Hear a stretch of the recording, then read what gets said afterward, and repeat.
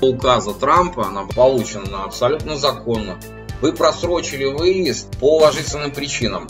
Пока каких-то разъяснений в отношении вот этих просроченных виз, что люди не смогли вы, выехать, пока нет. Но, скорее всего, это появится. И вам все равно нужно контактировать э, с посольством, которое выдало визу. И вы должны получить от них четкий алгоритм действий. Есть разъяснение о чрезвычайном положении от иммиграционной службы. Но эта иммиграционная служба, она курирует то, что происходит на территории США. Работу консульств и выдачу виз курирует Госдеп. Так вот, по Госдепу пока никаких таких разъяснений, что делать людям, которые просрочили визы, нет. И посольство, исходя из этого, не может вам ничего толком сказать. Но таких людей много, и скорее всего будет какое-то решение. Доказательства у вас есть.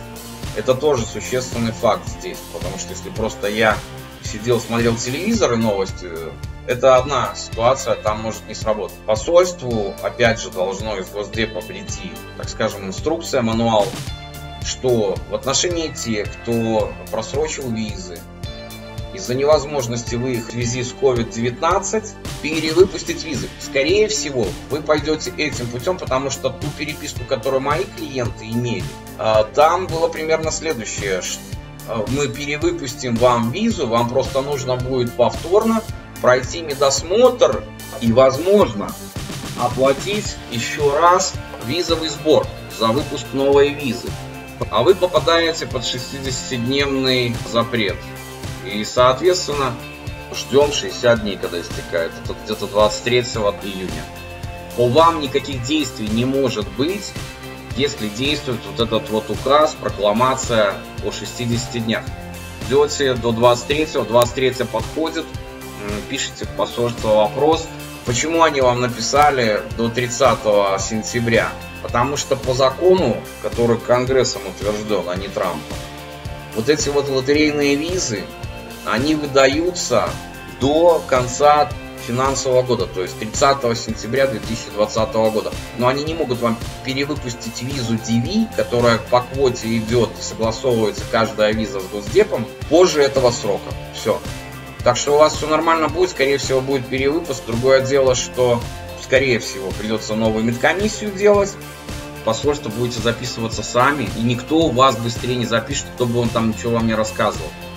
Потому что запись у вас будет происходить по вашей инициативе, с вашего e-mail отправлен запрос.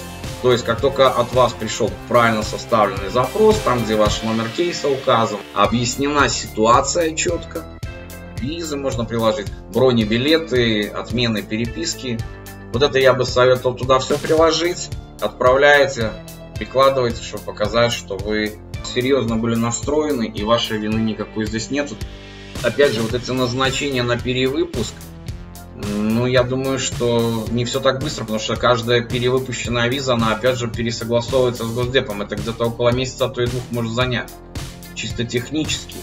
Если у вас только с июля это все начнется, ну, перевыпуск, допустим, виз, плюс новые люди, кто будет пытаться еще успеть, у вас все равно у всех одинаковая здесь картина, потому что все должны до 30 сентября получить визы. 30 сентября заканчивается и, скорее всего, пролонгироваться не будет. Типа сдвинуть финансовый год, это маловероятно. Потому что здесь идет в законе привязка к финансовому году. Вот он закончился 30 сентября 2015 года. Дождались ясной информации официальной о действиях.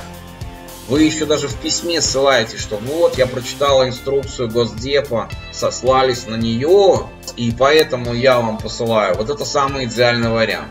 Все, может быть, и понимают, но им э, нужен, нужен законодательный акт, от которого чиновник может отталкиваться. Он не может действовать по своей логике.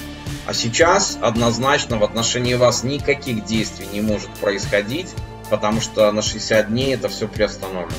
Поэтому следите за новостями и исходя из этого будете действовать.